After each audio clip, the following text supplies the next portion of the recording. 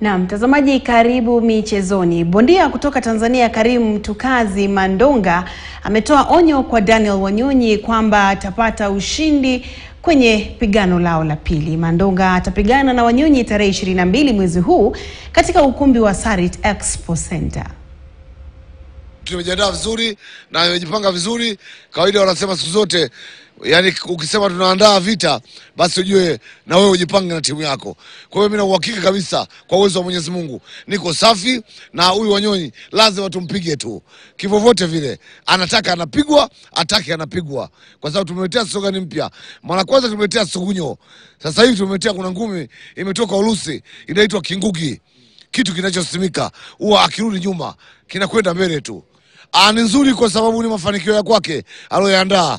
Mimi mafanikio yangu nimekuja kumpiga tu, mimi sijajua mengine, lakini yeye kama amejiandaa, amejiandaa kwa kazi yake, lazima aipambanie kazi yake.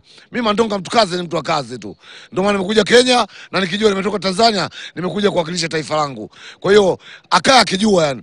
Mimi akinipiga kama nimempiga, nikimpiga nimempiga tu. Mandonga mtu kazi, ni mtu wa kazi, kwa hiyo nimekuja kikazi, lazima ijue hii kingugi imetoka Urusi, haijakuja kutembea bure, imekuja kufanya kazi. Ya. Sasa hivi niko Urusi na ile ndege ya kivita Urusi ikitumwa ikatume bomu lazima ikafanye kazi. Kwa hiyo mimi nimekuja na nyingine, yeye ameandaa dawa nyingine na mimi nimekuja kivingine. Kwa hiyo hii ngumi imetoka Urusi inaitwa kingugi, hii sio sugunyo.